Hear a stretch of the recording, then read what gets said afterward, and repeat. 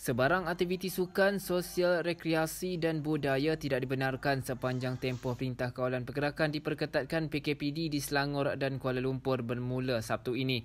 Menteri Kanan Keselamatan Datuk Seri Ismail Sabri Yaakob berkata operasi restoran, gerai makan, kenderaan bersaji, penjaja tepi jalan, penjaja beredar, medan selera atau pusat penjaja, gerai makan tepi jalan, kios dibenarkan beroperasi antara 8 pagi hingga 8 malam.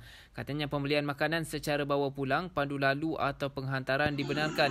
Kedai runcit, kedai serboneka, kedai barangan keperluan harian dibenarkan beroperasi antara 8 pagi hingga 8 malam.